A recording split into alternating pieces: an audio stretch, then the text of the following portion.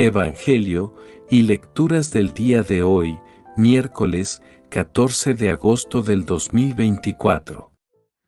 Señor, rompe con tu poder misericordioso la dureza de nuestro corazón.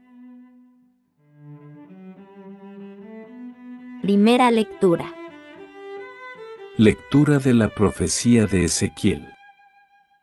Oí al Señor llamar en voz alta, acérquense, verdugos de la ciudad, empuñando cada uno su arma mortal.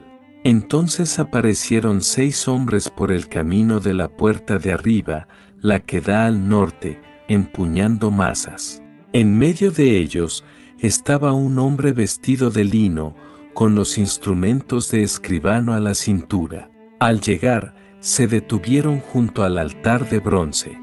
La gloria del Dios de Israel se había levantado del querubín en que se apoyaba, dirigiéndose al umbral del templo.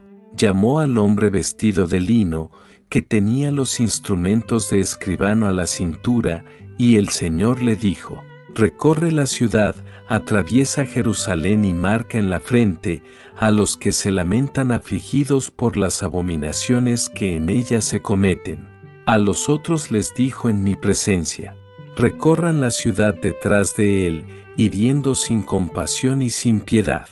A viejos, muchachos y muchachas, a niños y mujeres, mátenlos, acaben con ellos, pero a ninguno de los marcados los toquen, empiecen por mi santuario. Y empezaron por los ancianos que estaban frente al templo.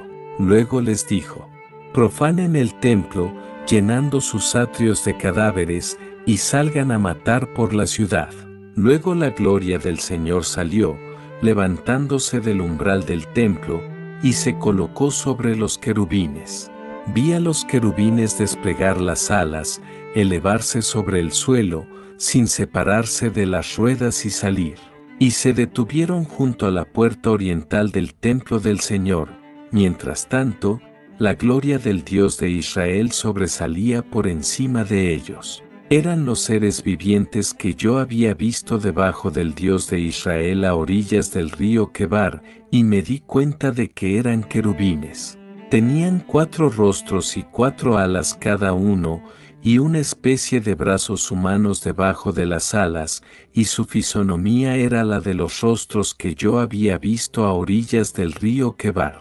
Todos ellos caminaban de frente. Palabra de Dios. Te alabamos Señor. Salmo responsorial. La gloria del Señor se eleva sobre el cielo. Alaben, siervos del Señor, alaben el nombre del Señor. Bendito sea el nombre del Señor, ahora y por siempre. La gloria del Señor se eleva sobre el cielo. De la salida del sol hasta su ocaso, Alabado sea el nombre del Señor. El Señor se eleva sobre todos los pueblos, su gloria sobre el cielo. La gloria del Señor se eleva sobre el cielo. ¿Quién como el Señor, Dios nuestro, que se eleva en su trono y se abaja para mirar al cielo y a la tierra? La gloria del Señor se eleva sobre el cielo.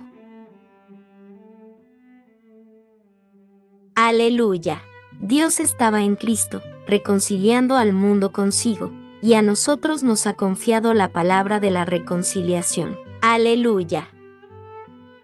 Lectura del Santo Evangelio según San Mateo. En aquel tiempo, dijo Jesús a sus discípulos, Si tu hermano peca contra ti, repréndelo estando los dos a solas. Si te hace caso, has salvado a tu hermano. Si no te hace caso, llama a otro o a otros dos, para que todo el asunto quede confirmado por boca de dos o tres testigos. Si no les hace caso, díselo a la comunidad, y si no hace caso ni siquiera a la comunidad, considéralo como un pagano o un publicano. En verdad les digo que todo lo que aten en la tierra quedará atado en los cielos, y todo lo que desaten en la tierra quedará desatado en los cielos. Les digo, además, que, si dos de ustedes se ponen de acuerdo en la tierra para pedir algo, se lo dará mi Padre que está en los cielos. Porque donde dos o tres están reunidos en mi nombre, allí estoy yo en medio de ellos. Palabra del Señor. Gloria a ti Señor Jesús.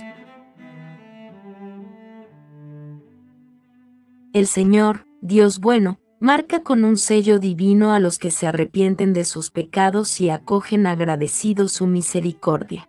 Ellos serán liberados de los males que aquejan a la humanidad.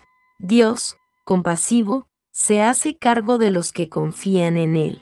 Nos lo asegura también Jesús en el Evangelio, al exhortarnos a la corrección fraterna, al perdón y la reconciliación entre nosotros, y nos recuerda que Él estará siempre en medio de los que se unen en su nombre. Oración diaria a Jesús y María.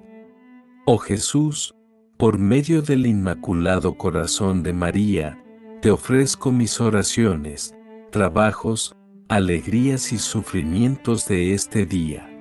En unión con el santo sacrificio de la misa que se celebra en el mundo, los ofrezco por todas las intenciones de tu sagrado corazón, la salvación de las almas, por la conversión de los pecadores, la reparación de los pecados, por la paz del mundo entero, la unión de todos los cristianos, por las intenciones de nuestros obispos y del apostolado de la oración. Amén. Consagración a Jesús por María. Oh María, te escojo hoy en presencia de toda la corte celestial, por Madre y Reina mía te ofrezco y consagro con amorosa sumisión mi cuerpo y mi alma, mis bienes interiores y exteriores, y hasta el valor de mis buenas acciones pasadas, presentes y futuras. Te dejo entero y pleno derecho de disponer de mí, y de todo cuanto me pertenece sin excepción según tu agrado, para mayor gloria de Dios en el tiempo y la eternidad. Amén. San Miguel Arcángel, defiéndenos en la lucha. Sé nuestro amparo contra la perversidad y acechanzas del demonio. Que Dios manifieste sobre él su poder, es nuestra humilde súplica. Y tú, oh príncipe de la milicia celestial, con el poder que Dios te ha conferido, arroja al infierno a Satanás y a los demás espíritus malignos que vagan por el mundo para la perdición de las almas. Amén.